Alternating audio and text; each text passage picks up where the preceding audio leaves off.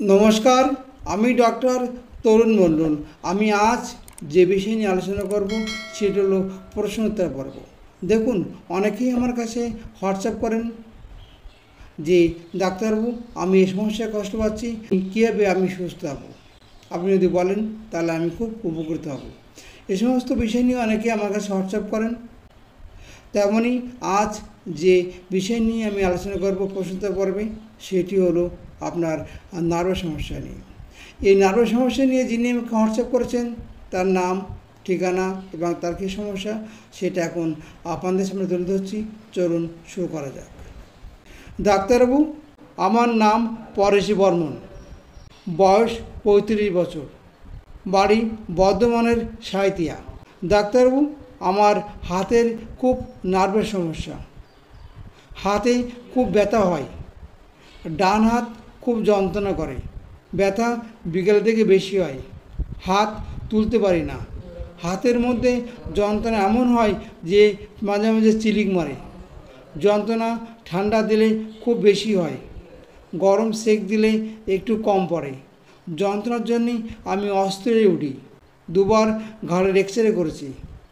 ঘাড়ের রিপোর্টে পাওয়া গেছে সার্ভাইকাল স্পন্ডিলাইটিস কিন্তু আমার সমস্যা হলো হাতের সমস্যা। কাঁধ থেকে হাত পর্যন্ত খুব যন্ত্রণা হয়। হাত ঠিকমতো তুলতে পারে না। ঠান্ডা সেক দিলে কম পড়ে। ব্যথা বিকেলের দিকে বেশি হয়। ব্যথা মাঝে মাঝে চিলিক মারা যন্ত্রণা করে। কি করব, কোন ওষুধ খাব একটু বললে আমি খুব উপকৃত হতাম। যিনি আমাকে নার্ভ সমস্যা নিয়ে, ব্যথার সমস্যা নিয়ে হোয়াটসঅ্যাপ করেছেন, নাম পরেশ বর্মন। ওনার সমস্যা হলো হাতের নাড়ো সমস্যা এবং ব্যথার সমস্যা ডান হাতের সমস্যা। উনি যে সমস্ত লক্ষণ কথা তুলে ধরেছেন, সেই সমস্ত লক্ষণ বিবেচনা করে আমি যে মেডিসিন নামটা বলছি মেডিসিনটা হলো ম্যাকপস থার্টি এই ম্যাকপস থার্টি ওষুধটা আপনি দোকান থেকে কিনে এনে খান, দেখবেন খুব সহজেই আপনি ভালো উঠবেন এবং সুস্থ উঠবেন এবার বলব যে ওষুধটা দোকান থেকে কীভাবে কিনবেন এবং কীভাবে খাবেন। যখন ওষুধটা দোকান থেকে কিনবেন, তখন এক গ্রাম পরিমাণ কিনবেন, হয় এক গ্রাম লিকুইড নেবেন, নাহলে এক গ্রাম গলবসি নেবেন। যদি এক গ্রাম লিকুইড নেন তাহলে তিন চার ফোঁটা করে খাবেন, সকালে বিকালে। আর যদি এক গ্রাম গলবসি নেন তাহলে তিন চারটি করে দানা খাবেন সকালে বিকালে। ওষুধ খাওয়ার আধ ঘণ্টা আগে বা আধ ঘণ্টা পরে কোনো কিছু খাবেন না বা কোনো নেশা করবেন না। তাহলে ওষুধটা খুব ভালো কাজ করবে। ওষুধের নাম আমি আবার বলছি, ম্যাকফস থার্টি।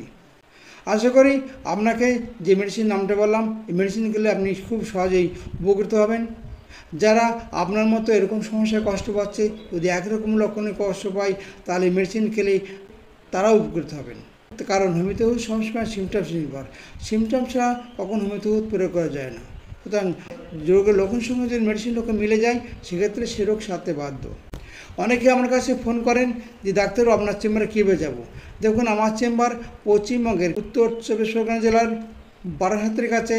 হৃদয়পুর এবং বনগার কাছে মন্ডলপাড়া যারা আমার চেম্বারে আসতে চাইছেন, তারা কীভাবে আসবেন সে বলছি। শিয়ালদা থেকে বনগালাকল উঠবেন। উঠে বারাহাতের আগ্রা স্টেশন হৃদয়পুর স্টেশনে নামবেন। হৃদয়পুর স্টেশনে নেমে যে কেউ জিজ্ঞাসা করবেন যে কেউ আপনাকে দেখিয়ে দেবেন।